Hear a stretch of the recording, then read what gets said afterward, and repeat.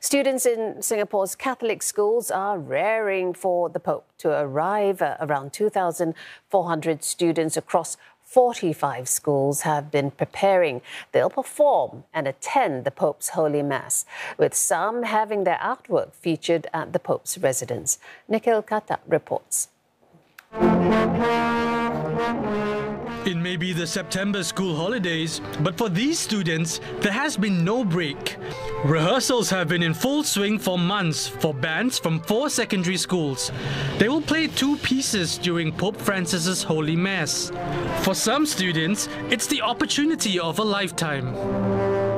Despite being a non-Catholic, I am excited for the Pope to come because I know opportunities like this are really rare. I found myself putting more effort, revising at home, going through, making sure I can play it right because this is a very big deal. So I want it to be good.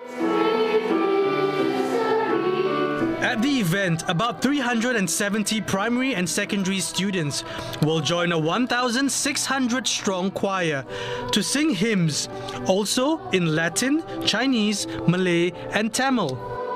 Whether you are Catholic or the students are non-Catholic, I think this is a great opportunity for our students to come together and foster this sense of uh, community. The presence of Pope uh, with his visit uh, will serve as an inspiration for the younger generation, uh, inspiring them to contribute and serve um, the, the, the community in a positive way. Values of, of humility, of being interested in the human other are all qualities which I will pray and hope that our school students will go away with.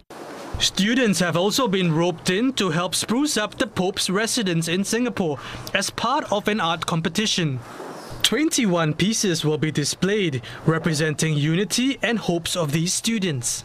They're in the four main races of Singapore the Chinese, Eurasian, Malay, and Indian. And you can see they're very united. And there's the Pope here. He's like a steward of the earth, and he's uniting us all in hope and peace. The importance of unity is so deep, especially in a country like Singapore, where we may have a very diverse backgrounds, but yet coming together for common good is is really critical.